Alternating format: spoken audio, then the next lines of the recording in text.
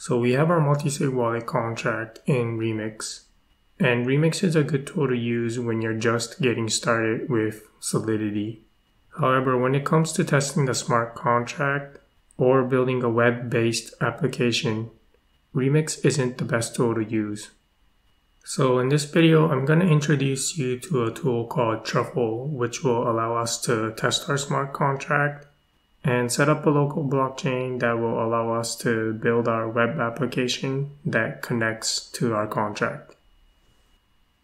So here I've created a folder called Solidity Multisig Wallet and I've opened the code editor inside it. And the first thing that we're going to do is install Truffle. So inside your terminal type npm i-g truffle.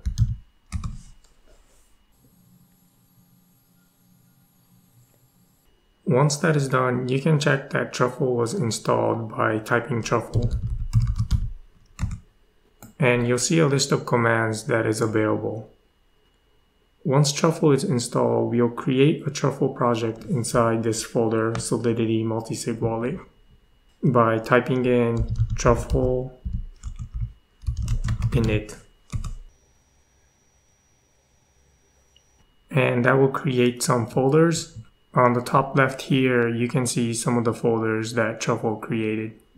And I'll explain what these folders are for as we need them.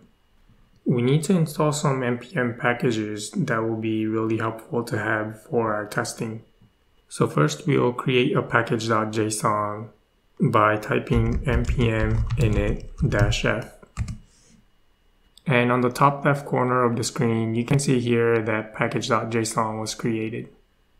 Next, we'll install some npm packages. So type npm i dash dash save-dev and we'll install chai and chai as promised.